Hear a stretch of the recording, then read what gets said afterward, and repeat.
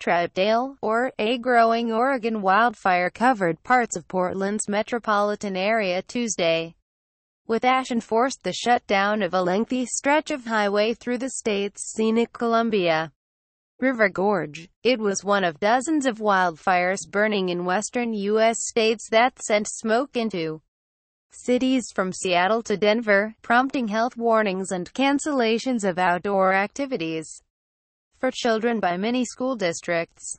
The National Interagency Fire Center in Boise, Idaho, a federal agency that coordinates wildfire fighting, said 80 large fires were burning on 2,200 square miles in nine western states.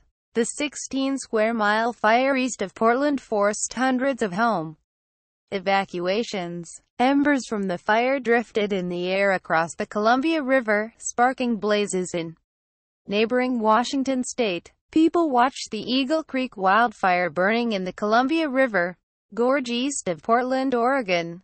Inciweb via AP, the wildfire grew rapidly late Monday and overnight, giving authorities just minutes to warn residents on the Oregon side of the river to leave their homes. A closure of one section of Interstate 84 because of thick smoke and falling ash was extended 50 miles east of Portland because flames reached the roadway, said Dave Thompson, a spokesman for Oregon's Department of Transportation. If it jumps the road, you'd be driving through a wall of flame, he said. It's just not safe. People in Oregon covered their faces to shield themselves from the smoke and the ashes falling on them.